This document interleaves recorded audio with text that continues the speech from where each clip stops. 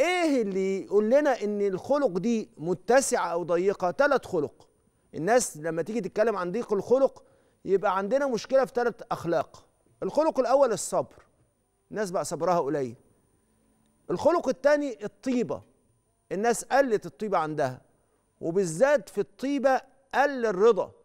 الناس ما بقتش راضية على أحوالها. فأي حد بيقابلها بيطلعوا في بيطلعوا فيه إيه؟ بيطلعوا فيه زهقهم. الحاجة الثالثه التماس العذر. يبقى الإنسان إذا كان واسع الخلق يعني واسع الخلق يعني يبقى واسع الخلق إلى إمتى؟ لما يبقى صبور لما يبقى طيب لما يبقى بيلتم بيلتمس الأعذار للناس. زمان كنا نسمع حد بيقول عن حد إن ده فلان ده خلقه ضيق. بس دلوقتي بقى للأسف الناس يكاد يكون كتير من الناس بقى خلقها ضيق. بتسألوني ليه؟ آه الضغوط ممكن تسبب ضيق الخلق بس الضغط لو جه على هشاشة نفسية وقلة مناعة نفسية تعمل ضيق خلق. لكن لو جه الضغط على إنسان صلب إنسان قوي عنده صمود نفسي لما يجي كده ده يطلع أحسن ما فيه. ليه طيب؟ ده سنة من سنن الله سبحانه وتعالى في الخلق. إن لما يجي الضغط على الإنسان يخرج الإنسان الصلب اللي عنده صمود نفسي يخرج أحسن ما فيه.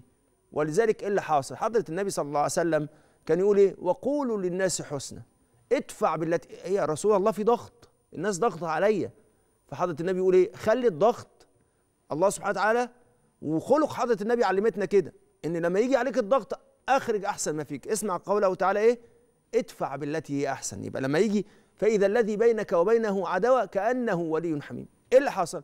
يعني لما يجي عليك الضغط ادفعه بحسن الخلق. إيه ده؟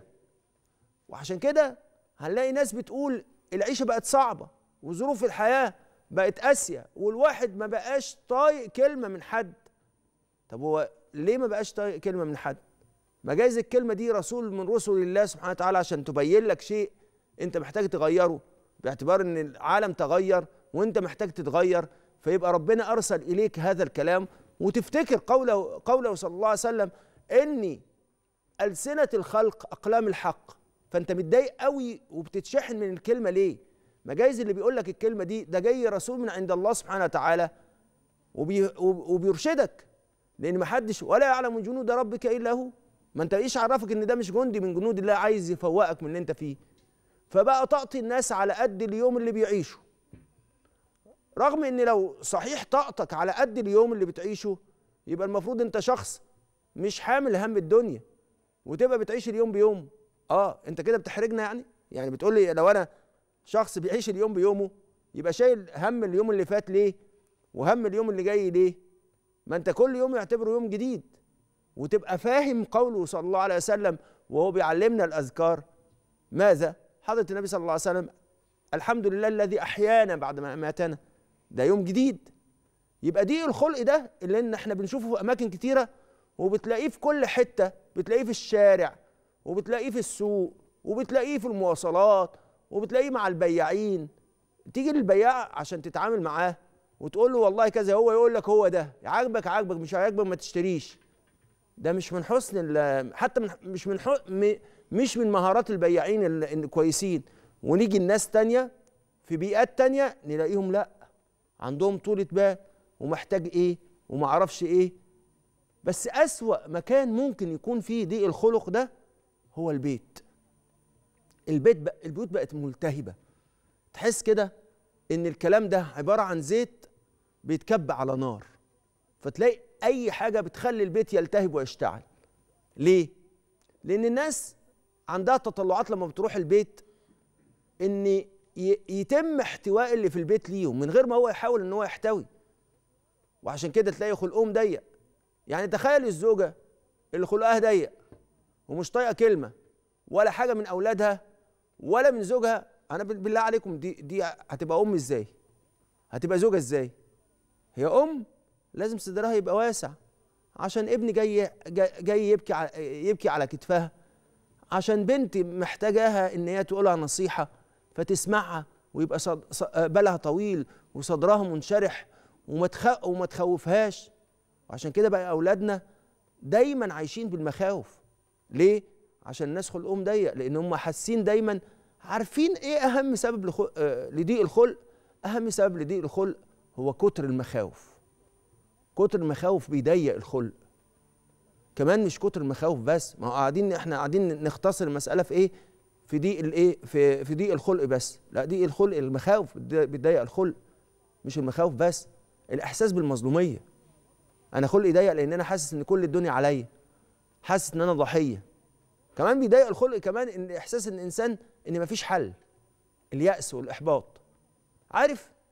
وضيق الخلق كمان بيحس بيجي من الإنسان إن حاسس الناس مش فاهماه.